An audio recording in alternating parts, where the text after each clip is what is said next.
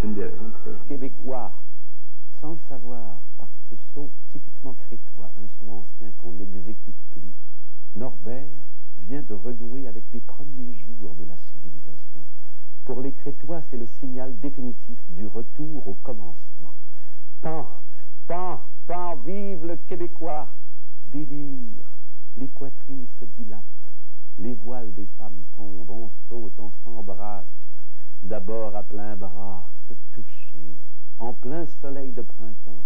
Le sang bouillonne dans les artères qui dormaient depuis des millénaires. On se touche les mains et on crie de joie. Pan, pan, pan. L'amour, par la sensation acceptée, va surgir du fond du volcan. Mais Pigeon ne veut pas être en reste. Toujours debout devant les cornes de la consécration, il se met à beugler, à gratter la friche de son sabot, arrachant des mottes de terre qui vont voler jusqu'au bas de la colline.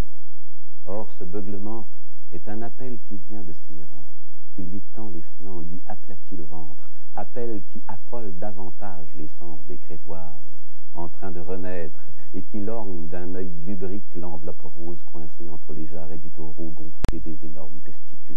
Appel de deux notes, l'une basse et courte, sorte de tremplin, sur lequel la gorge prend appui pour s'élever ensuite jusqu'au cerveau, ordinateur des.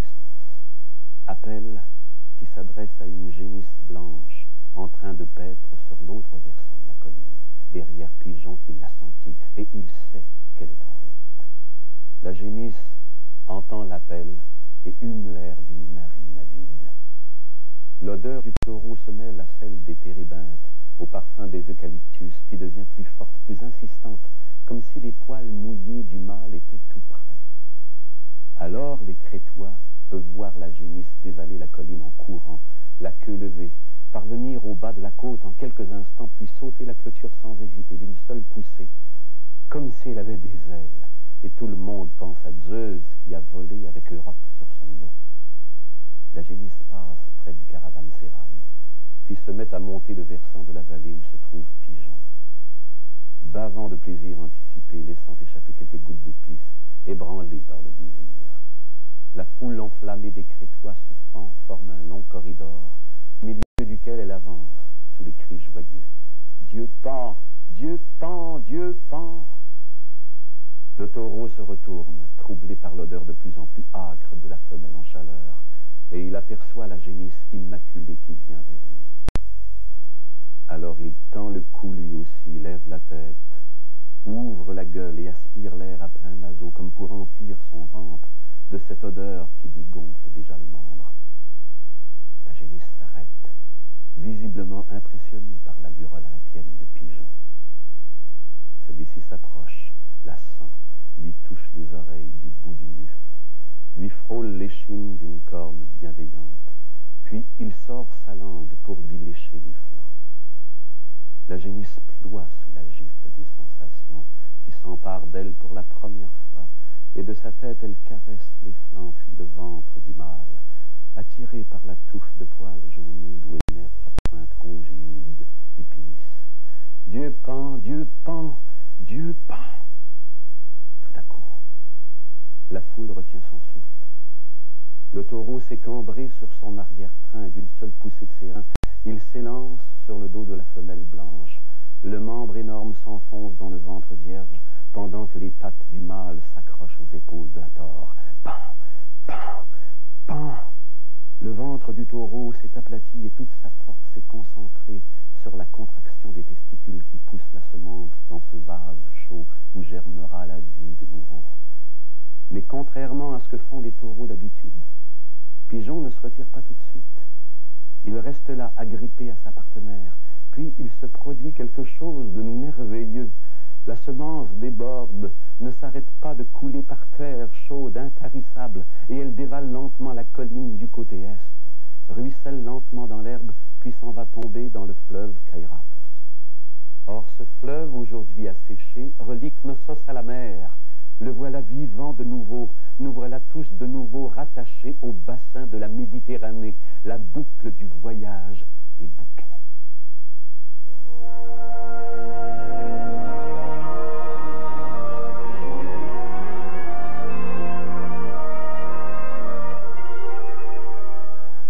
Cossette, un petit gars de Shawinigan qui vit depuis plus de 20 ans à Amqui, dans la vallée de la Matapédia.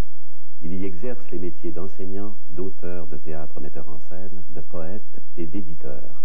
Il est cofondateur et copropriétaire de la maison d'édition Machin Chouette d'Amqui et auteur de contes pour enfants. De Jean Cossette, je vous propose L'érotisme et la mort, texte poétique paru en 1995. Au lieu dit de la nuit, les yeux se cherchent. Tous les rêves du monde éclosent. L'érotisme habite dorénavant les âmes. C'est là que nous irons, que nous vivrons de l'instant, l'un à l'autre accrochés, ficelés, arrimés. Nous traverserons l'opaque torpeur sans répit. Le plaisir sera notre fin, notre sentier. Sous les arcs-boutants de l'amour, nous veillerons tard. Notre palais éphémère comme nous brûlera après, au tournant des rêves.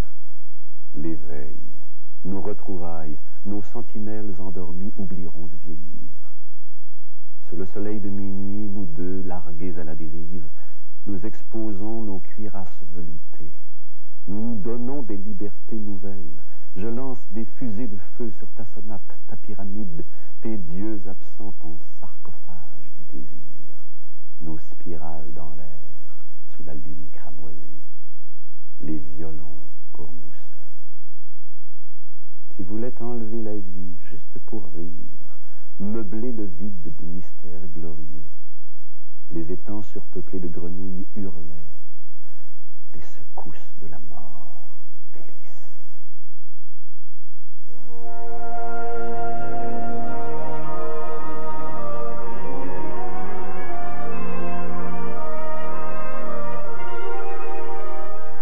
Originaire de Saint-André de Kamouraska, Madeleine Ouellette Michalska a 30 ans d'écriture derrière elle, une quinzaine de titres, dont les romans La Maison Tressler de l'île de Grâce, deux très grands succès littéraires.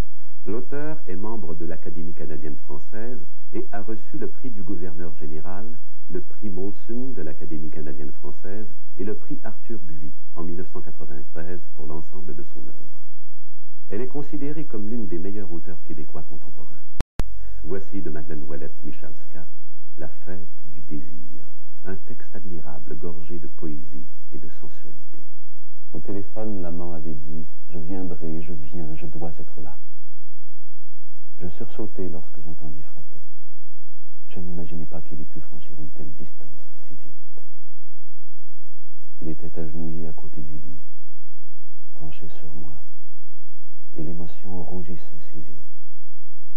Sa vigilance ne se laissait pas distraire par l'heure tardive de la nuit, car même si les aiguilles de l'horloge avançaient, nous ne vivions qu'une heure, toujours la même, la première, celle dont nous attendions le retour et dont toutes les autres étaient censées être la réminiscence ou l'écho.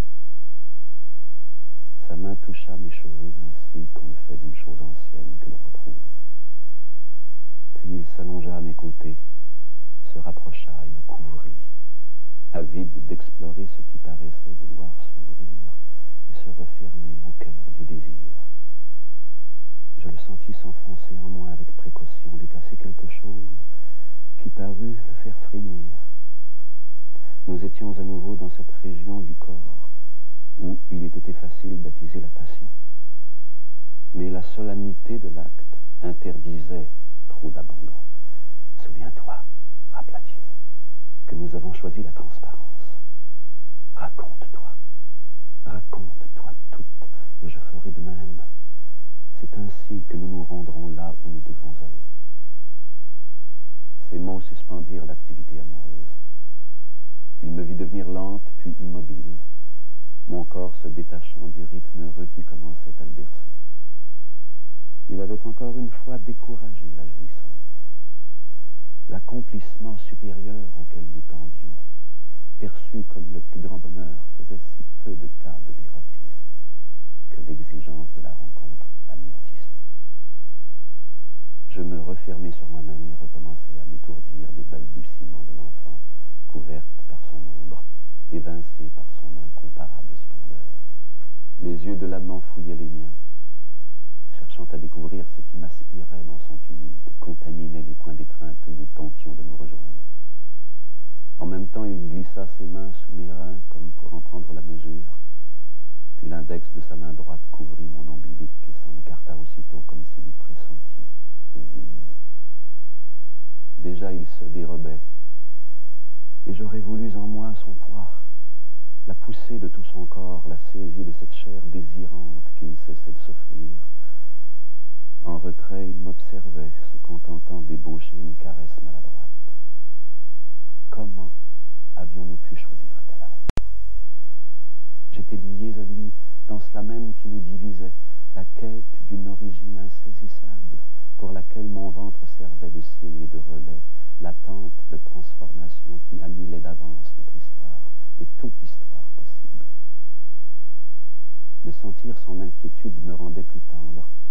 Il se plaignit, tu n'es que tendre, et je veux la passion. Que lisse, et je veux la déchirure. J'ai déjà trop attendu, souviens-toi. Je veux plus que ton corps, plus que ton plaisir ou le mien, je veux notre connaissance commune. Accablé, je ne sus que répondre. Entre nous, l'attraction et la peur osèrent rarement s'affronter. Impuissant à le satisfaire, je collai mon front au sien afin de ne plus voir ses yeux. Il parut accepter d'oublier. Nous remonçâmes à parler de choses simples, décidant d'occuper le reste de la journée à flammer.